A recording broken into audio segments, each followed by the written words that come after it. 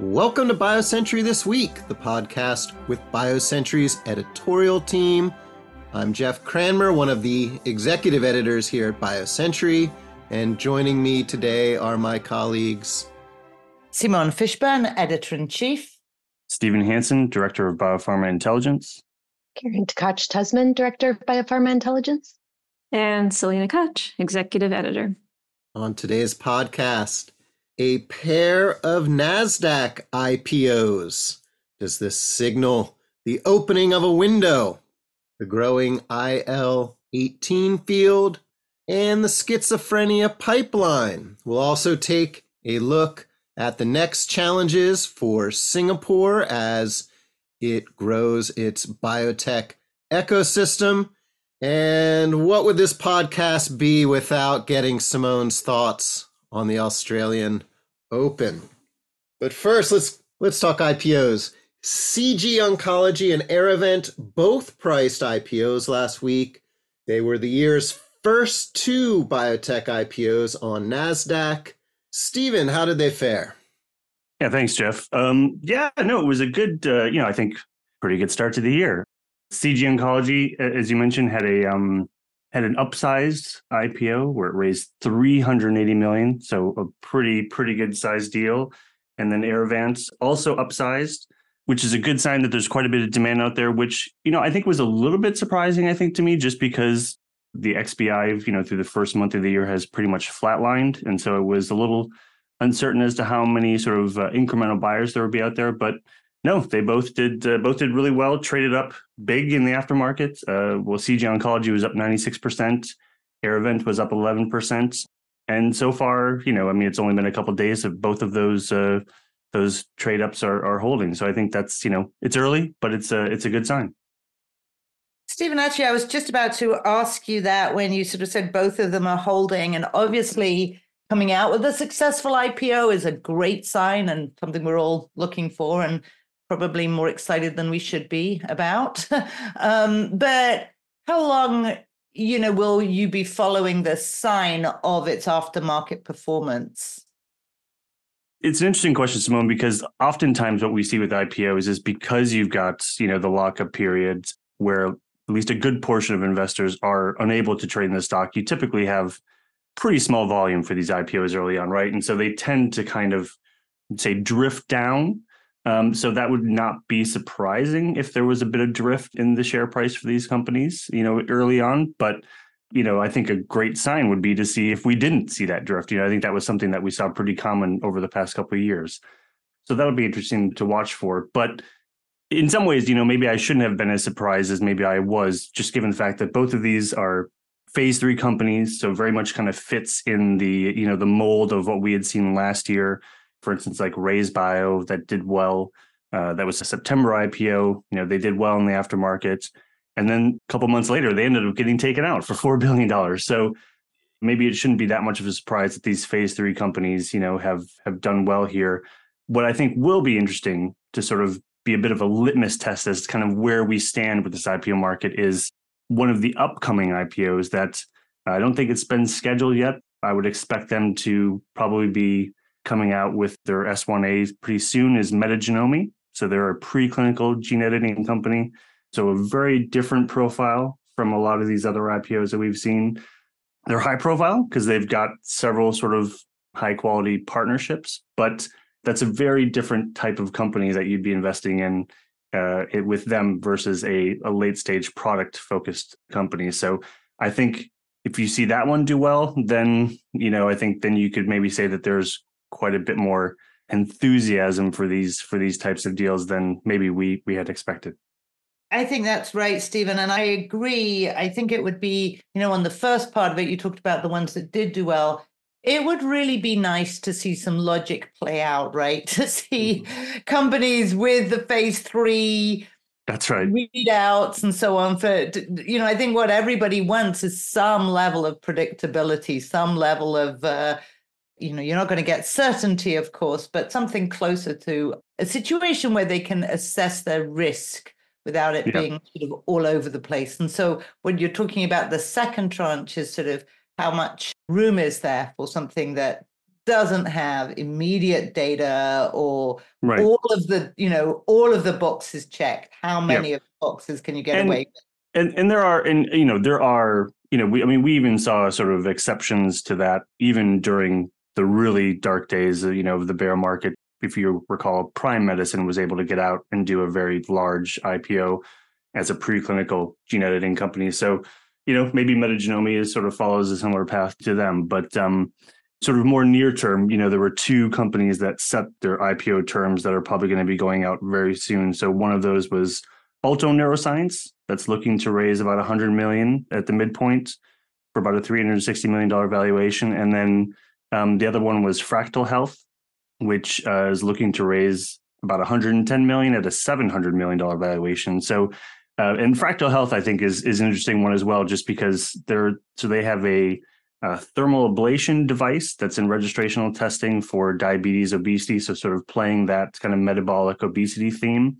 But then much earlier in testing, uh, I think it's still preclinical, is an AAV based gene therapy to deliver GLP 1 that they're looking to develop for diabetes and obesity. And so be curious to see what the appetite is, sort of how much the sort of, you know, that the obesity theme sort of is willing to go after something like a gene therapy in that space. So yeah, no, I think there'll be, I think both those will be sort of interesting just to, again, sort of keep temperature where the market's at. Sounds good. Thanks for that, Stephen. Let's turn to drug development. Karen, you took a look at what's happening with IL 18. What did you learn? Well, this is an interesting space that I've been following for quite a while now. A couple of years ago, did a dive on Th1 cytokines. So cytokines of a certain type of immune profile for cancer, and a lot of activity in IL-2, IL-12, and then there was a smattering of activity in IL-18. And since then, we've seen that space grow in terms of the number of companies with disclosed products, and um, that's been catalyzed by sort of two separate paths, if you will. One is around the discovery of the IL 18 decoy, an endogenous protein that gets in the way of IL 18 signaling, um, which has opened up this race to identify what are the best ways to avoid that decoy to potentiate IL 18 signaling and drive T cell responses against cancer. And then the other has been uh, some promising early data on IL 18's ability to supercharge CAR T cells to help them avoid exhaustion. And some interesting results have come out of Carl June's group around that. Um, in 2022, ASH, it made a, a splash with some interesting data. And then the follow up, so last year looked good as well. Karen, so a couple of things. First of all, it is always really exciting when you see something that is a basic biology understanding, like you're talking about with the decoy receptor, translate, as and I know that's a thing that you look at all the time, what's going from the academic literature directly into drug development programs. And so understanding how that unfolds and directly impacts the field is really interesting and of course at the core of what you particularly focus on but tell us about some of the companies that are now in this space and able to move forward on the back of this discovery or this new uh, decoy protein Sure. So one of them is Simcha Therapeutics, founded by Aaron Ring, uh, used to be at Yale, now he's at Fred Hutch. And his lab made the discovery around the decoy receptor. And Simcha recently had a deal with Janssen to apply their decoy resistant IL 18 to CAR T cells. And this is something where we're kind of seeing a meeting of these two parallel tracks the uh, discoveries of the IL 18 decoy and how to get around it, and the excitement around what IL 18 can do for CAR T cells. And interestingly, um, Simcha noted that this is a non exclusive deal, meaning that they anticipate making more partnerships with more CAR T developers across the ecosystem. So tell us at a high level, you know, CAR T has come a long way, certainly for blood cancers, and it still faces a lot of challenges. And we've been writing about that recently. I don't know that we're going to see big breakthroughs, for example, but in what way will this new IL 18 approach at a high level change CAR T drug development? The idea is that it's something that can help the T cells overcome exhaustion, uh, which has been a really big limit for CAR T cells' ability to perform, and particularly in solid tumors. And the ex- oh, so it's solid tumors, but also durability. Uh, yes. So, you know, this idea of can it reinvigorate exhausted T cells? And there's also this idea that it has effects on other surrounding cells like NK cells, maybe dendritic cells. The idea is that can it overcome some of the exhaustion that limits immune responses in tumor microenvironments? And so there's a number of companies that have cropped up in this space going after this biology in different ways. We also had Compugen, who recently had their deal with Gilead, and they're getting at the decoy uh, resistance in a different way. They're using an antibody to block the decoy um, receptor itself. And uh, in the case of the Gilead deal, it's not explicitly um, to use for CAR T cells, but it's something where the company said, you know, Gilead said, of course, you know, we would consider the learnings of this um, in terms of our CAR T programs. And interestingly, Gilead, as part of its Tmunity acquisition, part of the IP there was some CAR T cells expressing IL 18, uh, because Tmunity, of course, came out of uh, UPenn and the June lab and uh, that ecosystem there. So we're seeing that kind of convergence of this cytokine, what it can do as a monotherapy in combination with checkpoints, and uh, what it can do for T cell therapies. It was interesting to see, and if you look in the story, the pipeline of who's going after the cytokine with what modality and also uh, a dive on how you know it's still emerging the understanding of how much the IL-18 receptor is expressed and by what cells and companies different hypotheses on that shapes their choice of modality so you could read about that in the story sounds good. Well one of these days i'll get everyone here at biocentury to call the university of pennsylvania penn rather than upenn but uh, it seems to be a losing losing battle for me. Okay, let's take a short break and then we'll be back to talk schizophrenia. This March, BioCentury, BayHelix, and Insights partner McKinsey & Company bring the third East-West Biopharma Summit to Singapore, the gateway to Asia. At the summit, you will get a first-hand look at how the smart money pouring into Singapore plans to scale up the emerging life sciences ecosystem. You will also meet the key players from Asia's innovation arc, from India through Southeast Asia to China, Korea, and Japan. If you are a biopharma executive looking for partners or investors, or a life sciences investor looking for portfolio companies or limited partners, now's the time to meet Asia leaders face to face in Singapore. Register today at biocenturyeastwest.com. Okay, we're back and we'll be talking about Singapore in just a little bit, but let's turn to the schizophrenia pipeline. Selena, you did a really nice piece last week uh, delving into what is happening in the pipeline for schizophrenia. Uh, what did you find out?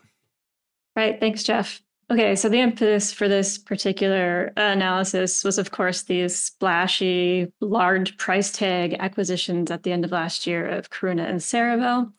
You know, no doubt all eyes are going to be on the milestones coming up this year from those two companies as kind of you know, we all want to see how this muscarinic receptor story progresses in the disease, how these things ultimately do on the market and differentiate and things like that. But um, those kind of surprising acquisitions in some way um, have brought a lot of attention just to schizophrenia broadly and, and some much needed optimism, I think. So I wanted to look beyond the headliners and see, well, what else is coming? And, you know, it turns out there's a lot actually. Karuna has a PDUFA date this year, but it's not the only company. There is one other PDUFA date coming actually next month. There's about, I think, five programs in phase three testing and a bunch more in phase two and phase one. Who has that PDUFA date that's coming up? So, this is a compound that's been around for a little while. It's from a company called Minerva Neurosciences. It's one whose fate is a little bit more unsure, I think, than the Karuna compound. It actually failed its phase three trials, but it's in the, uh, I would say, the broad bucket of therapies that modulate serotonin and or dopamine, which is kind of one way that I broke up the pipeline.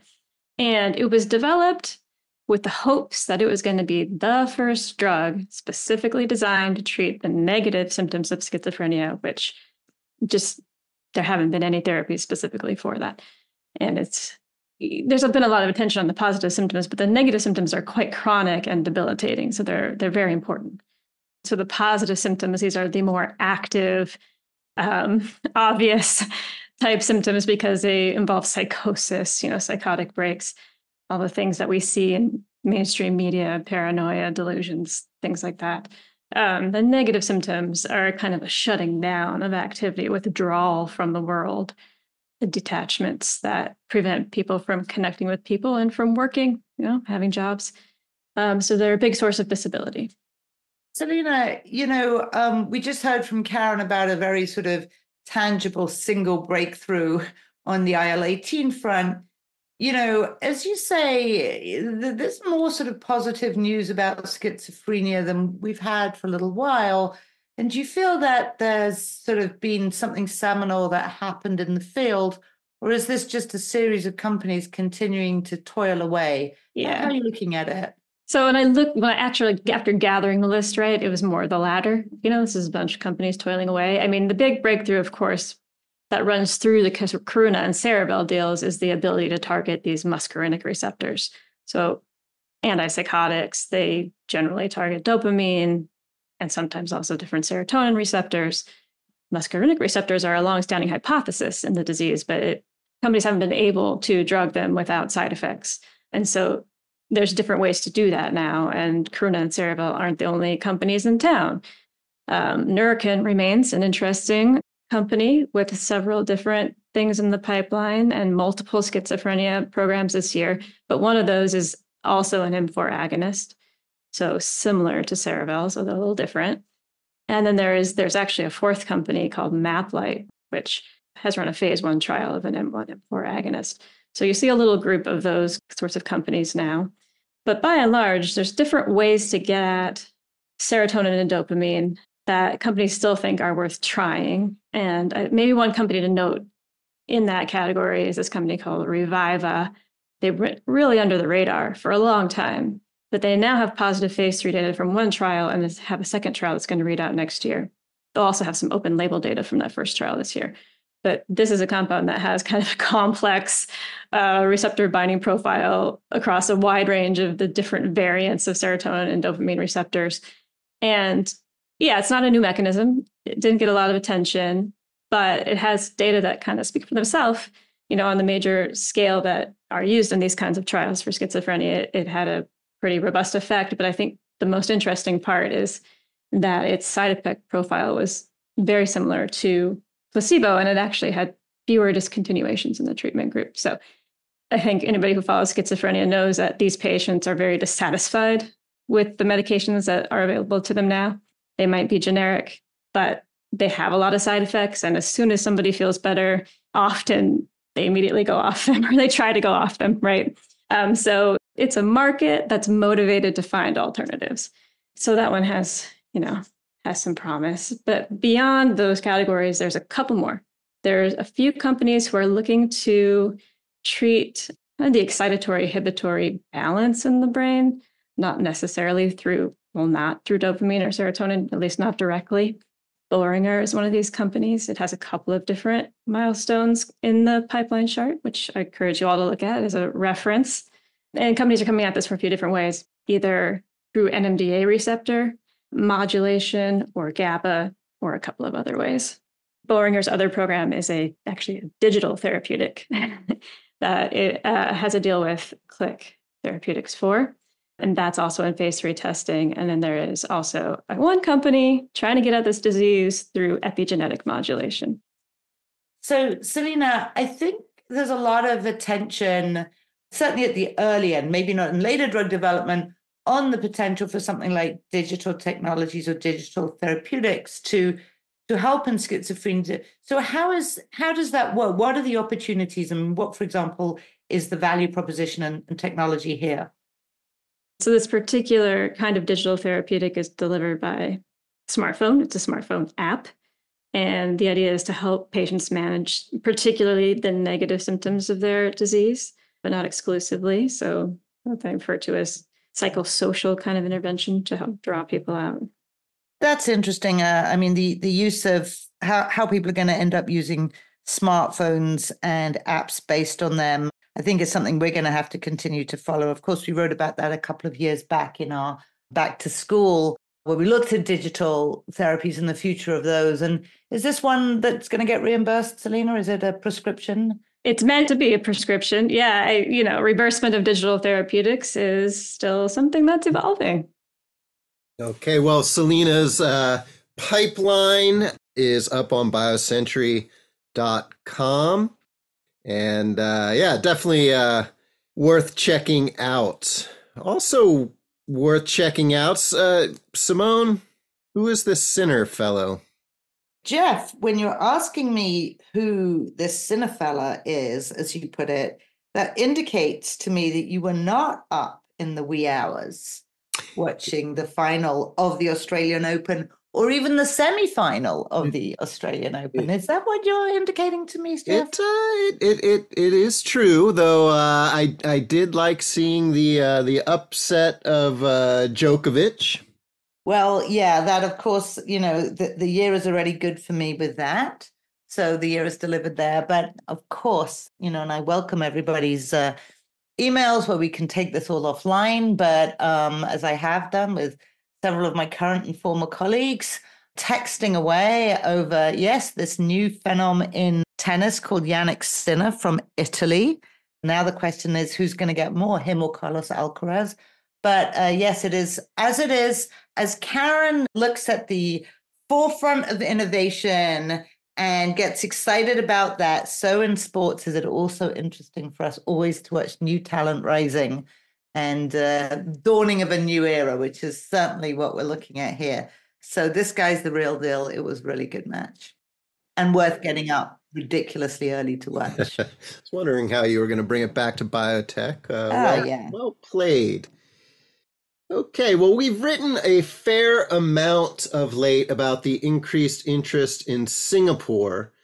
Simone and Selena, you've uh, written a piece that will will get out today. I'm curious, what's behind this momentum? Thanks, Jeff. Yeah, I mean, I, I, think we have written a lot about Singapore, but people still don't quite, I think, understand what's going on over there. Like various conversations I've had with, you know, folks in out there in the drug development realm, the span from, wow, haven't they been trying to be a hub for a long time and they haven't had any big winner yet, to gosh, look how far they've come in only 20 years. and um, to wait, stuff's going on in Singapore. Um, but so last fall, it seemed to us over here at BioCentury that all of a sudden the pace of news flow out of Singapore seemed to pick up from, you know, kind of a slow stroll to brisk walk or something. Um, so step one was just rounding up what all those news events were. So some of them are essentially the formation of incubator sort of style initiatives, of which Clavystbio is a party to two. So Clavist was formed from a Singaporean global investment company called Temasek, and it formally opened its what it's calling a life sciences collaboration space. It's called Node One uh, in October, on October 4. Um, and that's for pretty young companies to help them form, to help them raise their global profile and form the right kinds of connections to be uh, kind of globally minded from the beginning. And then, like very next day, Clavist, along with other investors, Leaps by Bayer, Lightstone Ventures, Polaris, and then the drug development sort of expertise and might of Germany's Evotec, formally launched what's called Lab 65, which is an early, early stage incubator. So before companies would be sort of eligible for Node 1. And together, those two are trying to form sort of a continuum of support. And right after that, you saw Johnson & Johnson Innovation increasing its presence in the region, Flagship announcing it was going to open a regional hub there, Seattle-based Accelerator Life Sciences, they build and incubate companies. They now have a person permanently stationed there, and they announced their first investment in the region. Also in the fall, Polaris led a $25 million Series A round for Engine Biosciences in, in Singapore. Um, so it was just kind of one thing after after another there. Yeah, I think, you know, one of the other things that's interesting here is that there's been a bunch of pharmas who've obviously had a presence in Singapore from manufacturing sites for a long time. And then you have new players, as Selena pointed out, like Flagship coming in. So I think we can't divorce this from the geopolitics of the region where maybe people are looking for a safe haven. And certainly Singapore wants to position itself as this sort of neutral territory in Asia, gateway to big markets. As you know, we pointed out, Selena, you pointed out in the story, it's not really about accessing the Singapore market. You know, on the one hand, we're talking about Singapore companies understanding the need to be global from day one and access other markets. And other people we're speaking to anecdotally are seeing Singapore as a place for finance, or even, you know, I've got some people who are telling me we just use it as a, it's a great place for us to have our meetings. Some people are in Australia, some people are in the US, and we meet physically in Singapore. So it has sort of this gateway presence. And one of the things that that the story uh, gets into, and we're going to talk about more actually at our upcoming conference, is what does Singapore need to do to make itself a viable, ongoing hub to keep this momentum? Because it's a question so many places in the world have how can I be a biotech hub? And Selena, you looked at a little bit of the data right around new companies, well, seed and series A financings, I think, or venture yeah. financings. I mean, we just kind of wanted to know what is its status, you know, right now. If you look at companies headquarters in Singapore or with a like a major site there, how many venture rounds they've disclosed in recent years. It's just a it's just a steady upward trajectory. And that's even at a time, you know, in the last couple years when we've seen venture really slow down in other places. Um, the other thing we I wanted to do was kind of just compare the activity there to some other countries that maybe their biotech ecosystem a little more established and they've been contributing companies to the field for a bit longer. Um, and so we stacked up the activity there against Switzerland, Denmark, Germany, and the UK and France, Israel. And what you see is it's, you know, there's a lot more activity in the UK than in Singapore, for example, but Singapore is not that far off of the other countries in that particular analysis. Okay, well, you can read the story on Singapore uh, on biocentury.com. And Simone, of course, mentioned our conference. That, of course, is our third East West Biopharma Summit, which we put on with BayHelix and McKinsey. It's coming up in early March in Singapore. And you can go to biocenturyeastwest.com. Be a great meeting for investors and You'll get to check out some cool panels and presenting companies. And if you're a presenting company and you're interested in attending, feel free to reach out to me directly. Kendall Square Orchestra provides the music for BioCentury this week. The group connects science and technology professionals and other members of the greater Boston community to collaborate, innovate, and inspire through music while supporting causes related to healthcare and education.